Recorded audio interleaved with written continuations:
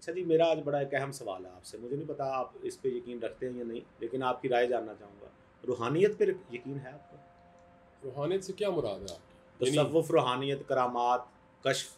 ہاں یہ اگر آپ بات ایسے لوگوں سے پوچھیں گے نا جو ان پر ہاں۔ یقین رکھتے ہیں تو وہ آپ کو کہیں گے کہ ہاں روحانیت تو جو ہے وہ باطنی پاکیزگی کا نام ہے اپنے اندر کی صفائی کا نام ہے اس کی تطہیر کا نام ہے۔ یہ کون نہیں چاہتا؟ ہاں تو یہ سب چاہتے ہیں اور اس کا مطلب کیا ہے؟ اس کا مطلب یہ ہے کہ انسان کا جو باطن ہے وہ تمام آلائشوں سے پاک ہو ہم۔ منافقت نہ کریں ہم جھوٹ نہ بولیں ہم میں۔ بغض کینہ نہ ہو انسانوں کے بارے میں ہم ان سے محبت کریں اور سب سے بڑھ کر یہ جو حضرت داتا گنج بخش شجویری نے فرمایا ہاں۔ کہ روحانیت کے لیے سب سے پہلی شرط یہ ہے کہ آپ شریعت کے پابند ہوں ٹھیک ہے نہیں میں میرا سوال یہ ہے ہاں۔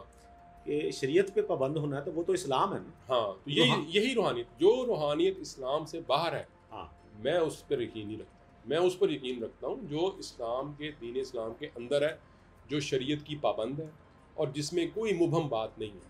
اور کرامات؟ نہیں کرامات کون سی مثلا کیا؟ مثلا ہم یہ سنتے رہتے ہیں نا ہاں۔ کہ فلاں نے ایک تعویذ دیا جس سے ایک بچہ ٹھیک ہو گیا ہاں، فلاں پانی پہ چل پڑا فلاں نے تیس سال کھڑے ہو گئے ایک ٹانگ پہ پانی پہ چل پڑا اور یہ جو اس طرح کی جو باتیں ہیں۔ آپ کو میں نے ایک دفعہ بتایا تھا کہ میں وہ امریکہ گیا وہاں میں نے نا وہ اس کا شو دیکھا ڈیوڈ کاپر فیلڈ کا۔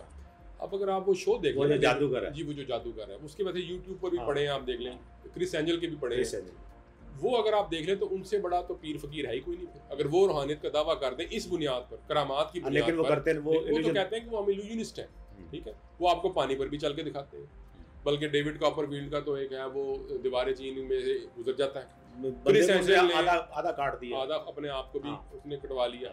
کرس اینجل نے راہ چلتی ایک عورت جو ہے اس کو بینچ پہ لٹا کے اس کا دھڑ لیتا اور ٹانگیں لیدا کر دیں۔ اس کو آپ کیا نام دیں گے؟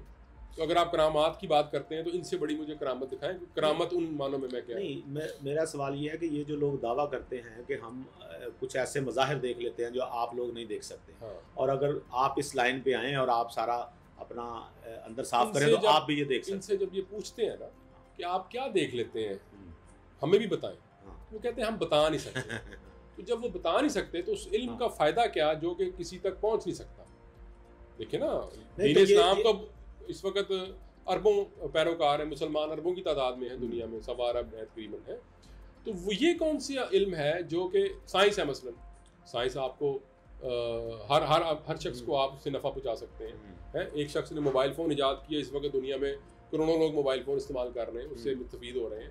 ہوائی جہاز ایجاد کیا آپ ہوائی جہاز میں سفر کرتے ہیں فائدہ ہو رہا ہے لوگوں کو نفع پہنچ رہا ہے علم شیئر ہو رہا ہے۔ شیئر یہ کون سا نالج ہے؟ وہ جو شیئر ہی نہیں ہو وہ یہ سکتا کہتے ہیں کہ یہ وہ نالج ہے جو انسان کی باطنی پاکیزگی کے لیے ہے۔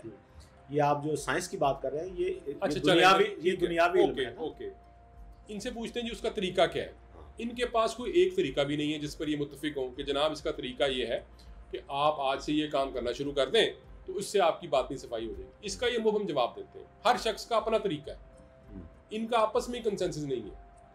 کبھی یہ کہتے ہیں کہ لوگ جو ہیں وہ تیس سال ریاضت کرتے رہتے ہیں اور چشمے اپنا اور ان کو کچھ ہاں۔ نہیں ملتا۔ ہاں۔ اور کبھی چشمے زدن میں ان کو جناب ایسی ایسی چیزیں عطا ہو جاتی ہیں جس کا کوئی تصور بھی نہیں کر سکتا۔ کیوں بھائی؟ یہ کیوں ہوتا ہے ایسے؟ اور یہ جو کہا جاتا ہے کہ جو ان کے جو پیر فقیر ہیں یا جو بہت اعلیٰ ہستی ہیں وہ بعض اوقات نماز جو ہے وہ خود یہاں جسمانی طور پہ موجود ہوتے ہیں اور نماز کہیں وہ اور اللہ معاف کرے میں نے آپ سے پہلے کہا ان سب سے جو بڑے بزرگ ہیں نا اس معاملے کے وہ حضرت داتا علی اجویری ہیں۔ انہوں نے جب فرما دیا کہ شریعت سے باہر کچھ نہیں ہے سب سے پہلے انسان کے لیے شریعت کی پابندی ضروری ہے۔ تو اس میں تو ٹاپ پرائرٹی نماز کی ہے۔ تو یہ نماز یہ یہ کون سا مذہب ہے؟ ہاں۔ کون سے اسلام کی خدمت کرتے ہیں جب یہ کہتے ہیں کہ جی ہمیں ہمیں نماز پڑھنے کی بھی ضرورت نہیں ہے؟ اللہ معاف کرے۔ نہیں وہ کہتے ہیں نماز پڑھتے ہیں لیکن وہ باطنی طور پہ وہ کہیں اور ہوتے ہیں۔ یہ جو نماز انہوں نے پڑھی۔ کیا یہ ہمارے جو بہت بڑے بڑے ہستیاں تھیں ان کو بھی ہم نے ان کے بارے میں کیا کبھی سنا ایسا؟ ایسا تو کبھی بھی نہیں سنا ہم نے۔ نہ کہیں روایت میں کسی ذکر ہے۔ تو یہ کوئی نئی بات بتا رہے ہیں؟ جس کا اسلام سے تعلق ہی کوئی